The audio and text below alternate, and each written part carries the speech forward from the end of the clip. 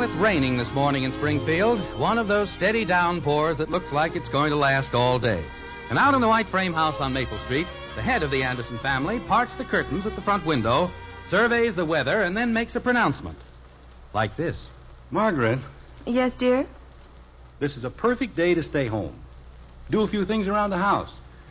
Maybe have a fire in the fireplace. Well, fine, dear. I thought I'd keep the children home from school today. Kathy's on the verge of a cold, and both Bud and Betty were coughing all last night. Yeah, it's a good idea to keep them home in weather like this. And it'll be kind of pleasant, having a rainy day at home with all the family. Hey, Mom, can I have Joe come over? His mom's keeping him out of school today. Bud, you're staying in bed, remember? There's nothing to do up there. Well, rest. That's what you're supposed to do. Can I have something to eat? You had your breakfast. Get a book and read or something. Look at that rain come down. Oh, I'm just going to stretch out in this chair. Might catch up on some reading myself. Mother! What is it, Betty? Bud's jumping on his bed. Bud? Okay. For Pete's sake, who's at the door? I'll go. Here's the mail, Mrs. Anderson. Oh, thank you. Who was it? Oh, that was our nice mailman. Oh. Anything besides bills? Hmm. Letter from me. Looks like Cousin Millie's handwriting. Nothing for me? No, no, this is all. Who's at the door? Just the mailman. Why are you staying home, Father? Oh, just thought it'd be a good day to stay home. How do you feel? I feel fine. Mother, I think I'll rearrange my closet today. Uh, all right. Father, do you think you could find another clothes pole for my closet? The one that's in there is sagging. It's practically fractured. Well, there's no point in getting another pole in there. You just have too many clothes, that's all. But that's the worst part of it. I haven't a thing to wear. Uh, we'll discuss it later. You go up and start cleaning out. I have one dress, maybe, or two at the most that I'd be seen in. Uh, this is a very interesting letter from Cousin Millie. Oh? How are things going in that branch of the family? The relatives still fighting? Dear, do you remember hearing of Uncle Dudley?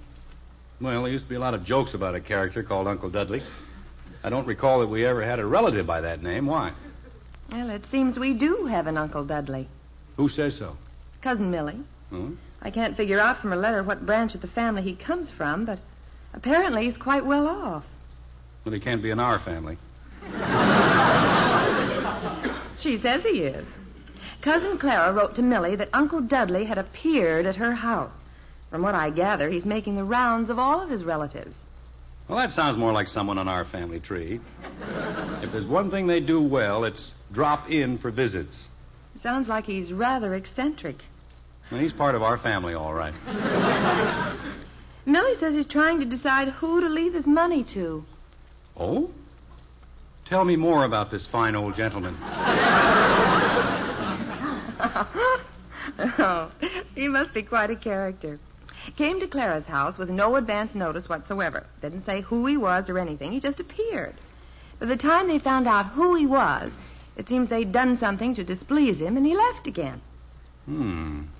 Uncle Dudley. Wonder if he's the old duffer Aunt Sylvia mentioned when she was here, the one who struck oil down in Texas? Search me. I'm sure I've never seen him. Millie, in her letter here, says she thinks the reason he's looking over his relatives is that he had a very unhappy childhood. Had a father who made his life miserable. I don't get it. Not too clear to me either. Well, we certainly had some odd people among our relatives. I wonder if he's on your side of the family or mine. Well, it couldn't be on my side. Honey, uh, where's the last issue of the National Geographic? Isn't it there with the magazine? Oh, yeah, here we are. Oh, this is the kind of a day to read about faraway places. Wonderful article here on the life of the blue whale. Well, while you chase the blue whale, I'll chase the breakfast dishes. Oh. Uh, need some help? No thanks, dear. Uh, Uncle Dudley. Cousin Millie must have dreamed all that. Tracking the blue whale in iceberg land. Dad, is it okay if I come down here with you? Did Mother say you were supposed to be lying down? I'll lie down on the floor. All right, but uh, keep yourself warm. Hey, here's an ad in the classified section. 70 foot schooner for sale or trade. How about that, Dad? How about what? A 70 foot schooner. We could get it and sail around the world. Oh, sure. Do it some Saturday. No kidding. It says for sale or trade. We wouldn't have to buy it. We could trade him something for it. Oh, Bud, don't get started on one of those crazy ideas again. Well, we could. We could trade him our house for it. We wouldn't need the house if we were sailing around the world. We are not trading this house for a schooner. How about an island? But I'm trying to read. There's a guy here who has a whole island Where? in the Pacific Ocean. Well, good. Now we know exactly where it is. Says we'll trade for real estate or good used car. No. We could trade him our car. It's used. Probably wouldn't need the car on the island anyway. Bud, stop reading those ads. And don't scatter the paper all over the floor. Somebody has to pick that up, you know. Father, look at this pile of junk. Now, these are my clothes. Just look, there isn't a single solitary thing here that I can wear. Uh, Betty, I don't think this is quite the time to discuss clothes with your father. You haven't got a chance to, Lulu. I'll tell you that right now. Bud, pick up the papers. I am, I am. Now, Princess, if you take that pile of dresses for which I am sure I spent a small fortune not more than a week ago, back to your closet. I'll- Dresses? Look, there's nothing here. Nothing. Nothing. What's that green thing there? That's a dress. That. I wouldn't wear it to a pig fight. Well, I'm not going to buy you any dresses today, so you may as well take the whole bunch back upstairs and hang them in your closet. Do as your father says, Betty. I can't hang them in my closet. The clothes pole's broken and Father won't fix it. I didn't say I wouldn't fix it. Well, it isn't fixed. Look, everybody, please. I sat down here hoping to spend a few minutes just quietly reading. Come on, Betty.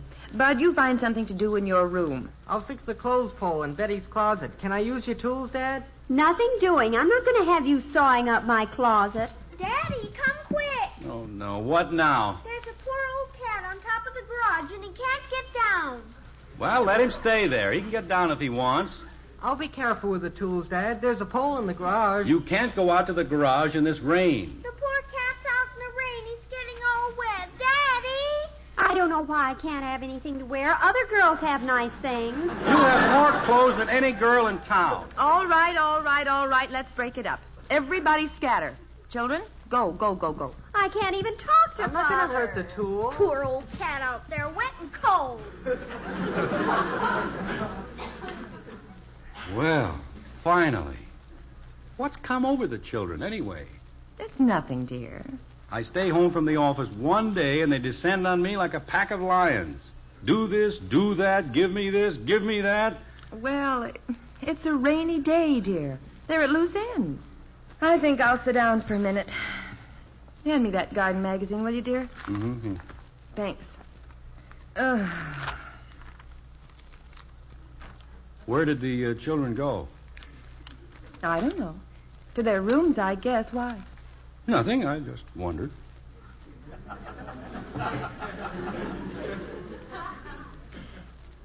Do you think we should put in some new rose bushes along the drive this spring? Just because it's a rainy day and I happen to be at home, no reason to get completely out of hand.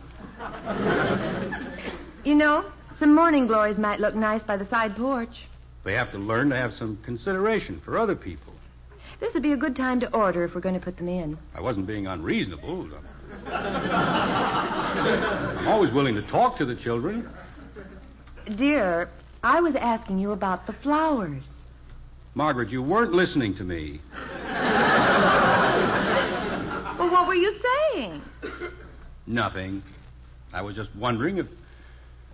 Betty! Betty! Yes, Father? Uh, did you call me? No, I didn't. Oh. Well, I won't bother you. You go ahead with your reading. Where are you going? In the dining room. I have some mending to do. Honey, you don't have to leave. I. Oh, me.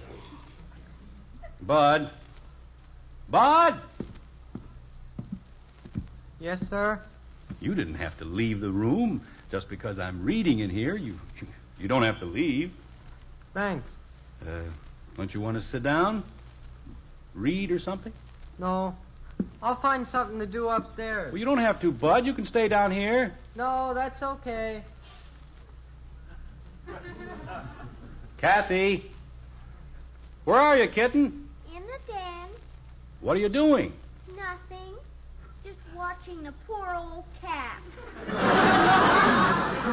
Well, why don't you come in here? I'd rather stay in here. Darn kids. the blue whales of iceberg land. Ah. Margaret, In the dining room, dear. mind if I come in? No, of course not. What's the matter? Honey, uh, did it seem to you that I was a little rough on the children? Not necessarily. You wanted to read, and they were interrupting you. Honey, I, I'm afraid that without realizing it, I, I've let myself become a, a bad tempered monster. You're one of the nicest monsters I ever met. Remember what Cousin Millie said in her letter about Uncle Dudley? The reason he's such a strange, eccentric old guy? He hated his father. I don't want that to happen to our children. No, we certainly don't want them striking oil in Texas. Well, it's a strange thing. The realization hit me just a minute ago. Sitting in there, I, I suddenly felt so alone. Dear, it's just a rainy day, that's all. Rainy day, nothing. By George, from now on, I'm going to take an entirely different attitude toward the kids. I've said my last unkind word. After all, what are we here for but to give the children a start in life? Give them love and understanding. Yes, dear. Childhood is such a few short years. Why shouldn't we make them happy years? No reason at all. Well, starting right now, I'm going to lean over backwards to be the kind of a father the children want me to be. Fine, dear. You lean backwards. But just be careful you don't tip over. Well, a rainy day in Springfield has produced at least one rather interesting development in the Anderson household. We always thought Jim Anderson was a pretty good father all the way around. But this morning, Jim himself concluded that he'd been anything but a good father. Now, a conclusion like this can be a frightening thing and can also produce some startling results. Witness what is taking place in the white frame house right now. Bud? Betty? Kathy? What do you want, Dad? Where are you, Father? In the den. Come on in, all of you. What have we done now, Daddy? Nothing at all, kitten. I just want to talk to you. What is it, Father? Uh, sit down, Princess. We're going to have a little talk. What is this? A little meeting, Bud. First of all, I want to apologize to you kids for the way I spoke to you a while ago. You didn't say anything. Well, that's very nice of you, Bud. I don't know what you're talking about, Father. Me neither. Well, I'm sure you do know, and you're trying to spare my feelings. The point is, kids, I realize that for some time now I, I've been pretty hard to get along with. I, I've been a very unsympathetic father. What's unsympathetic? Get lost. Is that what it means? Have you been lost, Daddy? Be quiet, Shrimp. Now, Princess, let's all try to be kind. Kathy didn't understand, so we'll explain to her. What I meant, kitten, is that Daddy is going to try harder to be gentle and understanding and helpful to you and Bud and Betty. I think I've fallen into the bad habit of saying no much more often than yes, and without thinking. What are you leading up to, Father? Well, just this, Princess. From now on, I want all three of you to come to me with any problem you may have. Nothing is more important to me than helping you. So, let's just say we're starting a new chapter, and that I'm going to try to be a better father from now on. Why, that's very sweet of you, Father. Yeah, I'll say. Now, what would you like me to do? How can I help you? I've got a problem, Daddy. All right, kitten, what is it? We'll have it straightened out in a minute. Will you get that poor old cat off the garage The uh, Cat? Dad, I got an idea. Let's not buy a boat. Let's build one. Well, we can certainly think about that, Bud. After he gets the cat, I was first. You could certainly help me, Father. There's a lot of clothes in one of the trunks, and I thought First, that if he's I... going to help me start the boat. First, he's going to help me with the cat. Now, wait, easy, kids. I'll have to take one at a time. I'll get around to all of you, but Kathy was first. Now, uh, about this cat, uh, don't you think he. He's sitting on top of the garage and he can't get down and he's wet. Daddy, you've got to hurry. Well, all right. We'll get Mr. Cat off the garage. I'll put on my raincoat and we'll have him down in no time. I'll put on my raincoat and help you, Daddy. Me too. Uh, uh, give me mine, will you, Dad? I'll be upstairs when you finish, Father. All right, Princess. Uh, uh, come on, kids. What's this? You going out in the rain? This is Operation Cat Rescue. Daddy's helping us with everything. But why? He said he was lost. I'm being what a father should be. Should have done this long ago.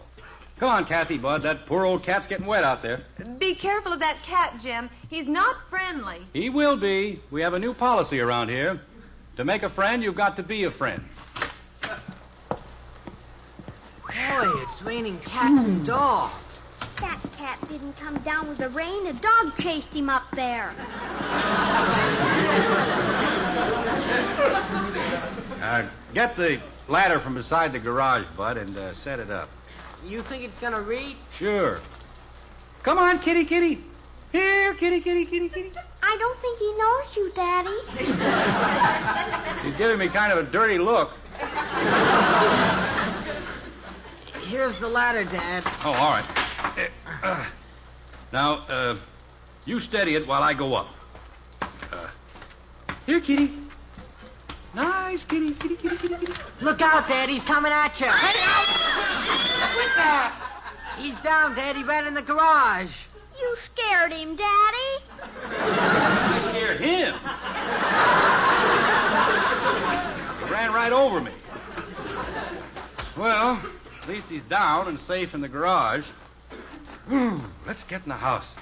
Look at him, Daddy. He's climbed up on top of the car. Oh, get off that car, you silly cat. Big old muddy feet all over the top. Don't talk like that right to his face. We've got to get him off the car, Bud.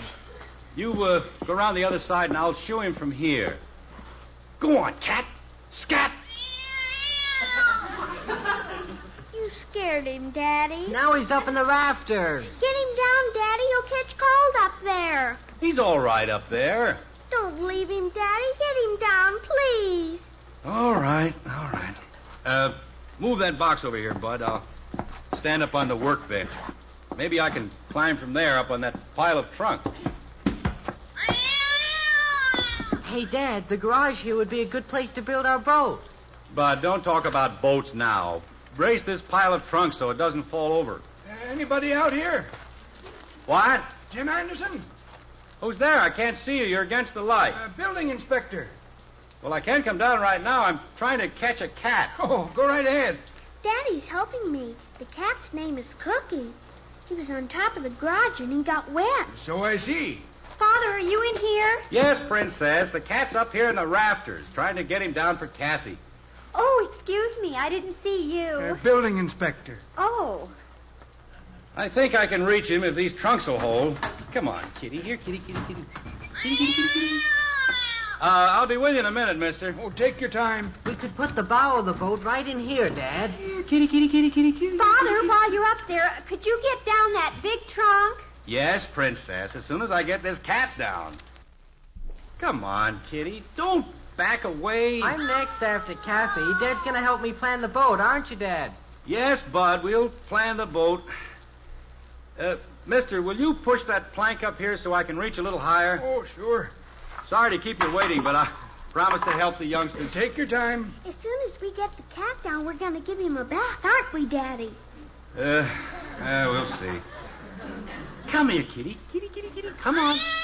Daddy, do you like the name Cookie for a cat? Yes, that's a good name. Come here, kitty. Kitty, kitty, kitty, kitty. Cookie. How about the name Windjammer? For the cat? No, for a boat.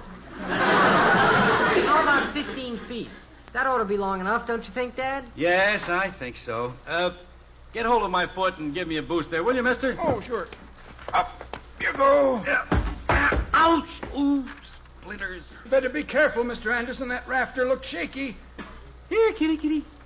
Come here, cat. Jim, you're wanted on the telephone. I'll be there in a minute, honey. Uh, see if you can shoo the cat this way. He keeps backing up. They didn't say who it was, just wanted to talk to you. Oh, I beg your pardon. Uh, building inspector. Flat or round bottom? Oh,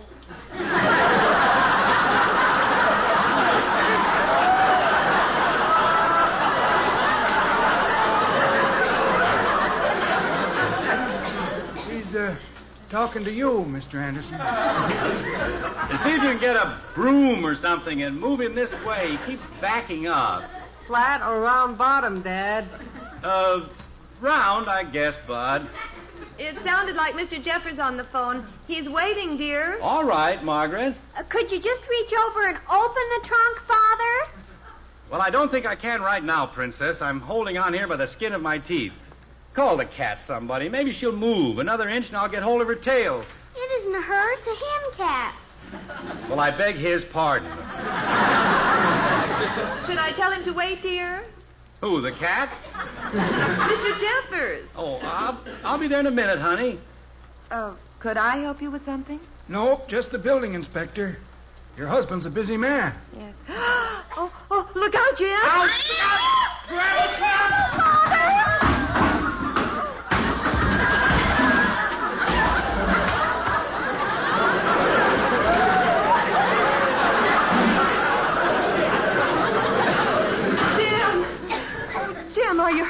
You the trunk off of Oh, him. oh, that was a bad fall. Daddy, are you alive? Yes, I think so. Father, you shouldn't have been up there. You should have watched it, Dad. The cat came down, too. He might have been hurt. I think he came out of it all right. Are you all right, Father? Yes, a few scratches, but nothing broken. You were lucky. You certainly were. Well, at least we got the trunk down. Help me open it, Bud. Hey, look at the job. Oh, boy, good stuff. Well, I suppose there's no point in your trying to answer the phone now. They probably hung up. I'll call Jeffers back. And now, uh, Mr. Building Inspector, what can I do for you? Well, after what I've just seen here, I think everything is quite acceptable. well, I don't understand that. The rafter of the garage broke. I should think, from a building inspector's point of view, No, that... no, no, everything's fine. Uh, here's your slip of approval. Well, thank you. And uh, may I say, Mr. Anderson, you have my most sincere admiration. Good day. Good day. He was a strange fellow. Appeared from nowhere. What does it say on the slip of approval? Well, listen to this. On this rainy day in Springfield, I have at long last found a man of great patience and deep love for his children. My search has ended. You will all be remembered most generously in my will, for you truly deserve it. Signed affectionately, your Uncle Dudley.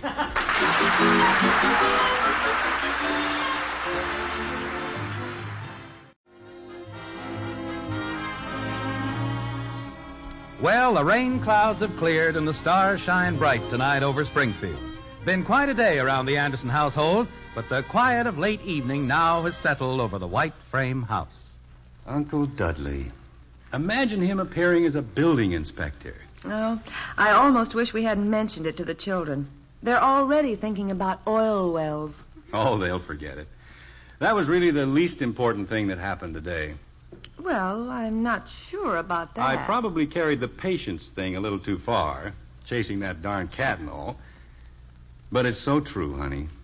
We do have to check up on ourselves once in a while to be sure we're giving the children the understanding they need. It's something we shouldn't forget. I wonder if we'll ever see Uncle Dudley again. I wonder. You know, from now on, every time the doorbell rings, we'll sort of expect to see him back again. Mysterious man. Well, I'll go, dear.